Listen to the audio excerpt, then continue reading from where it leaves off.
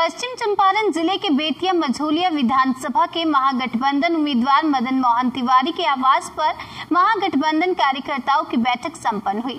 इस बैठक में महागठबंधन के सभी पदाधिकारी मौजूद थे। मौके पर महागठबंधन प्रत्याशी मदन मोहन तिवारी ने कहा कि इस बार महागठबंधन की सरकार बनेगी। लोगों पर नीतीश कुमार बोझ बन चुके हैं। वहीं प्रभु राज नारायण राव ने कहा कि नौजवानों को नीतीश सरकार में रोज़गार नहीं मिला। बिहार को ठगने का काम नीतीश कुमार ने किया है।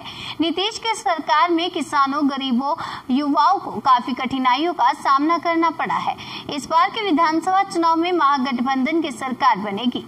जनसेतु के लिए बेतिया से हरिकेश तिवारी की रिपोर्ट। अरे महागठबंधन की मीटिंग चल रही है। हमारे महागठबंधन के सभी नेता विराजमान हैं, कार्यकर्ता विराजमान हैं। महागठबंधन की सरकार बनने वाली है। विकास तेज गति से होगा। युवा सरकार आएगा। विकास तेज गति से होगा। और जो नीतीश कुमार बोझ बने हुए हैं। कुर्सी खाली करेंगे।